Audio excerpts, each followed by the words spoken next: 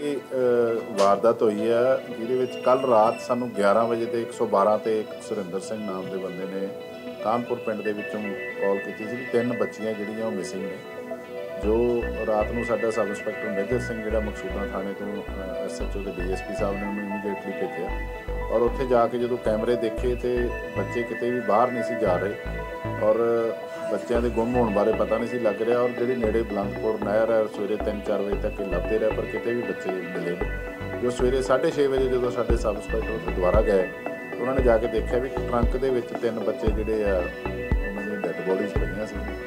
ਜੋ ਉਹਨੂੰ ਪੁੱਛਣ ਤੇ ਉਹਨੇ ਦੱਸਿਆ ਵੀ ਕਿਤੇ ਖੇਡਦੇ ਖੇਡਦੇ ਇਹਦੇ ਵਿੱਚ ਵੜ ਗਏ ਹੋਣੇ ਆ, ਜੋ ਉੱਤੇ ਸਾਰੇ ਸੀਨੀਅਰ ਆਫੀਸਰ ਇਨਕਲੂਡਿੰਗ ਮੀ ਅਸੀਂ ਮੌਕੇ ਤੇ ਗਏ। ਜੋ ਉੱਥੇ ਆਂਢੀ ਗੁਆਂਢੀਆਂ ਨੇ ਵੀ ਸ਼ੱਕ ਪ੍ਰਗਟ ਕੀਤਾ ਵੀ ਇਹ ਬੱਚੇ ਜਿਹੜੇ ਇਹਦੇ ਵੜ ਨਹੀਂ ਸਕਦੇ, ਉਹ ਸਾਨੂੰ ਵੀ ਇਹੋ ਚੀਜ਼ ਲੱਗੀ। ਜੋ ਇਹਦੇ 'ਚ ਸਾਰੀ ਜਦੋਂ ਇਹਨੂੰ ਕੁਐਸਚਨਿੰਗ ਕੀਤੀ ਗਈ ਉਹਦੇ ਪੇਰੈਂਟਸ ਨੂੰ, ਸੁਸ਼ੀਲ ਮੰਡਲ ਹੈ ਜਿਹੜਾ ਤੇ ਉਹਦੀ ਵਾਈਫ ਜਿਹੜੀ ਮੰਜੂ ਦੇਵੀ ਹੈ। ਉਹਨਾਂ ਨੇ ਦੱਸਿਆ ਵੀ ਸਾਡੇ ਪੰਜ ਬੱਚੇ ਸੀਗੇ, ਜਿਹਦੇ ਵਿੱਚੋਂ ਤਿੰਨ ਲੜਕੀਆਂ ਸੀਗੀਆਂ, ਅਮਿਤਾ ਕੁਮਾਰੀ ਸਾਕਸ਼ੀ ਕੁਮਾਰੀ ਤੇ ਕੰਚਨ। ਤੇ ਦੋ ਉਸ ਤੋਂ ਛੋਟੇ ਬੱਚੇ ਆ, ਅਨੁਸ਼ਕਾ ਤੇ ਸਨੀ। ਇਹ ਜਿਹੜੀਆਂ ਤਿੰਨ ਬੱਚੀਆਂ ਮਰੀਆਂ ਨੇ, ਉਹ ਸੀਗੀਆਂ ਅਮਿਤਾ ਸਾਕਸ਼ੀ ਤੇ ਕੰਚਨ 9 ਸਾਲ 7 ਸਾਲ ਤੇ 4 ਸਾਲ ਦੀਆਂ। ਗਰੀਬੀ ਕਾਰਨ ਇਹ ਬੰਦਾ ਲੇਬਰ ਕਰਦਾ ਸੀਗਾ, ਉਹਨਾਂ ਦਾ ਪਾਲਣ ਪੋਸ਼ਣ ਨਹੀਂ ਸੀ ਕਰ ਸਕਦਾ।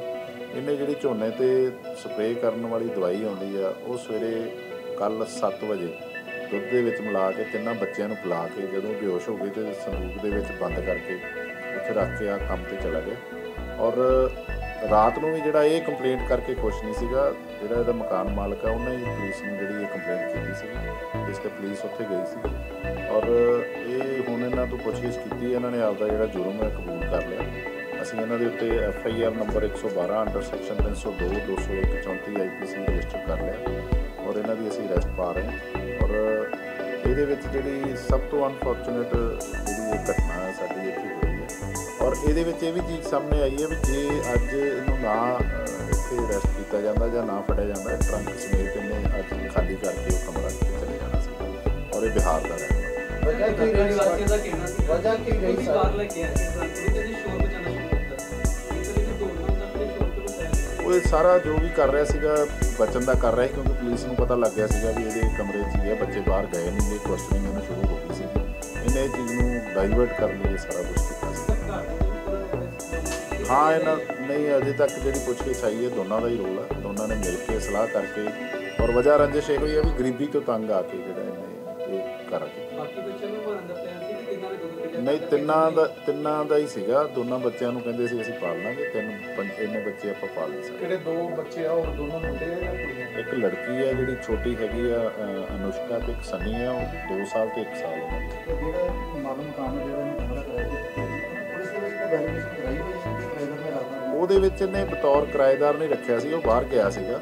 ਪਿੱਛੋਂ ਉਹਨੇ ਕਮਰਾ ਕਿਹਾ ਸੀ ਸਾਨੂੰ ਮਹੀਨੇ ਲਈ ਦੇ ਦਿਓ। ਮੈਂ ਉਸ ਤੋਂ ਬਾਅਦ ਦੇ ਵਿੱਚ ਇੱਥੋਂ ਚਲੇ ਜਾਵਾਂਗਾ ਜੇ ਰਿਹਾ ਤੇ ਫਿਰ ਤੁਹਾਨੂੰ ਤੁਹਾਡਾ ਇਕਰਾਰਨਾਮਾ ਕਰ ਲਾਂਗਾ ਦੋ ਮਹੀਨੇ ਹੋਏ ਦੋ ਮਹੀਨੇ ਦੱਸਿਆ ਸਾਡੀ ਕੁਐਸਚਨ